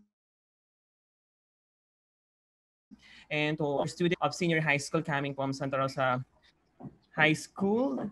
And for Vinian Valenzuela, if I'm not mistaken. From Cebu, also they're also messaging with me they're actually actually watching and from friends from Australia and Asian countries. Thank you so much also for watching and joining in this particular uh, webinar. So to the Scopes officers and of course to all who participated in this event, thank you very much. May you learn, may you learn something new from today as uh, giving you insights and technical knowledge by our very own one of the faculty of the engineering. So thank you so much to all and have a great day to all. And of course, God bless us all and take care always, everyone, as we all know that the COVID having actually surged and of course in uh, in the Philippines. So hoping and praying for all of you to be safe. And of course, despite pandemic, of course, everything must be moved forward. Uh, keep doing a great things. So thank you so much and and see you by upcoming webinars. Basically, I think we have last three. The for April 18 and the last two technical one, which is actually came from, which actually conducted by Aerobotica Philippines, which the two technical one for part one. Thank you so much to all of you. And of course, see you soon once again in the succeeding webinars. So I'm giving the floor for the moderator once again. All right. Thank you so much, uh, you, sir.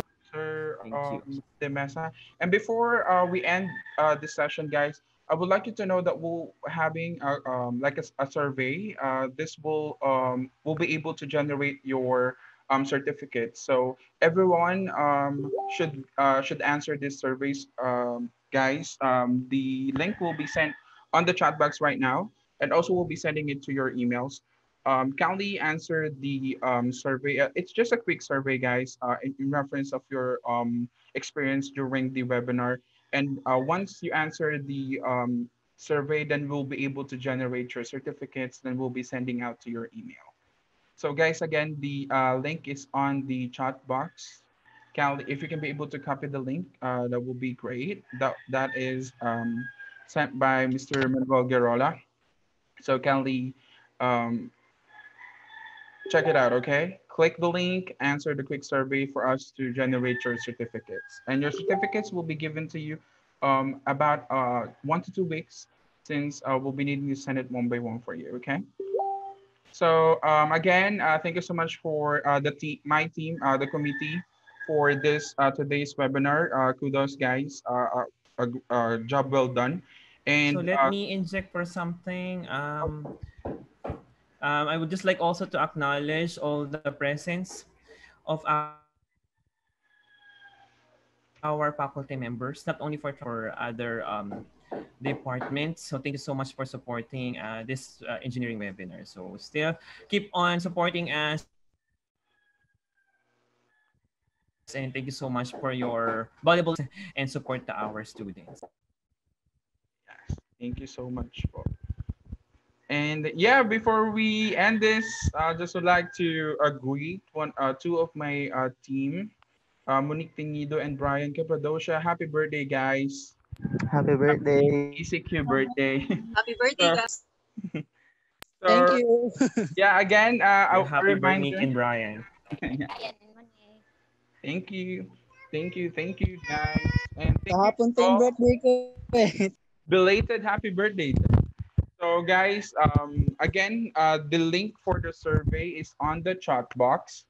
So if you can be able to copy that link, then you can answer it on the later time if you're too busy right now and you have you're on a hurry um, going into another subject or if you have any appointment.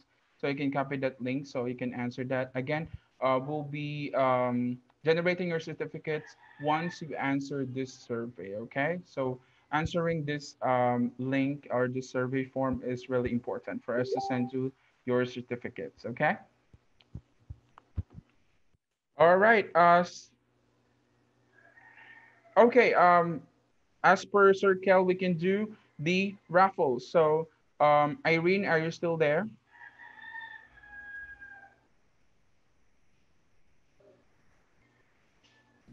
Yes.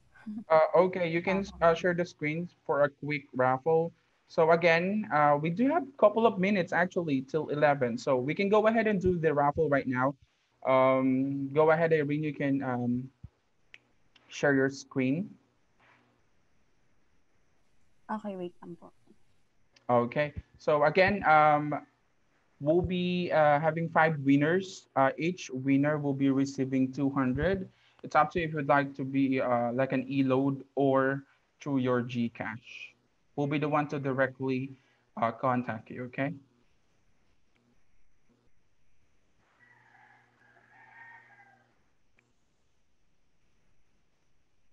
And hopefully guys are able to enjoy our webinar for today. We,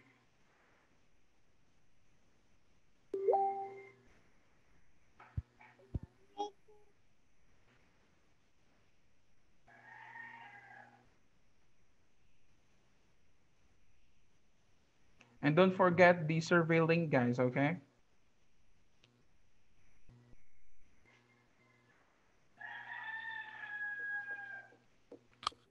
Okay na ba? Nakikita ba, ano, Janelle? Yep, it's visible. So you can now spin the wheel. Wheel to win. Okay, sige. Game na? Oh, Game game. na, Janelle? Okay. Our first winner is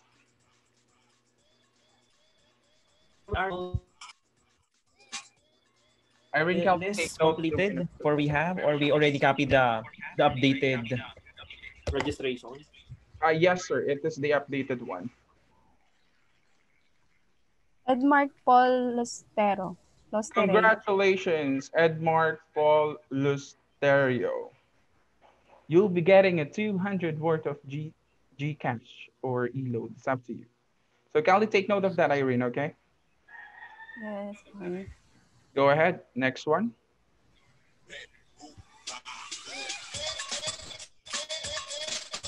We like the music, guys.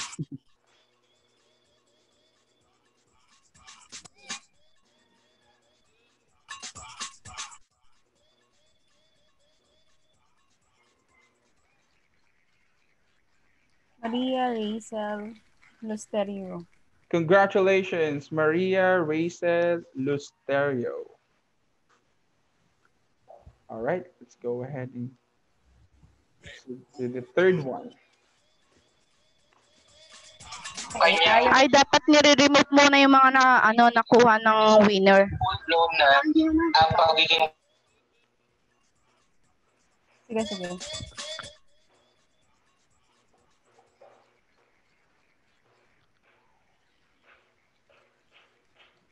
Jomer Caburian. All right. Congrats, uh, Jomer Kaburian.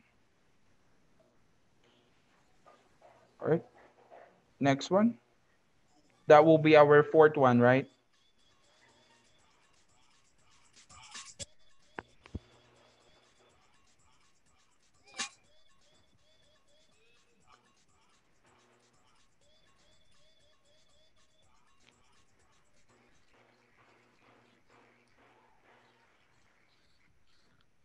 Eman John Garcia.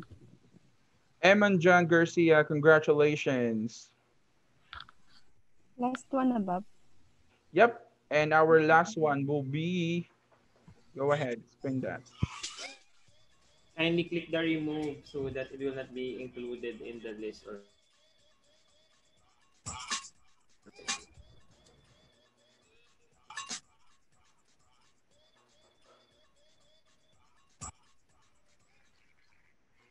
Vincent Manlesis. All right, congratulations, uh, Vincent uh, Manlesis. Okay, again, those uh, five winners will be contacted by our team and we'll be um, uh, informing you guys on how you can be able to claim your prizes.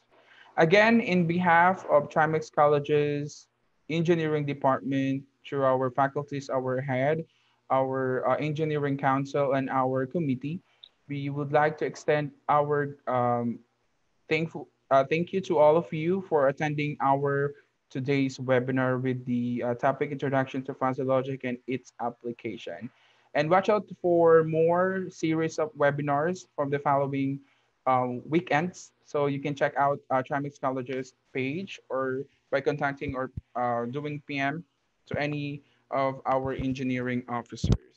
Again, thank you so much uh, to all of you for attending our today's webinar and you keep safe, guys. God bless. Thank you. Again, guys, yung, uh, yung link ng survey, ah, huwag nyo kalimutan. Thank you, guys. Okay, bye everyone. Thank you so much. Thank you, sir. Thank you for Thank you, thank you, sir. Guys, happy birthday. Monique and Thank you po. Thank Thank you. you. Thank you. Have a blessed day. Thank you, Junel and team. Salamat. Bye po. Thank you, thank you.